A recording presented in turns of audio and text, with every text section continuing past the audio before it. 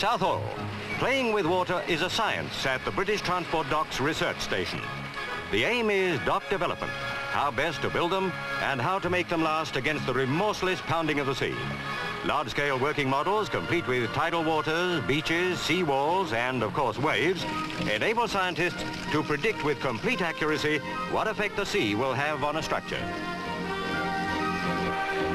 Gradually, science is taming the waters to work for man.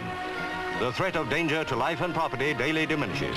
At Didcot, a working model of the Thames from Southend to Teddington has been built to solve the problems of flooding.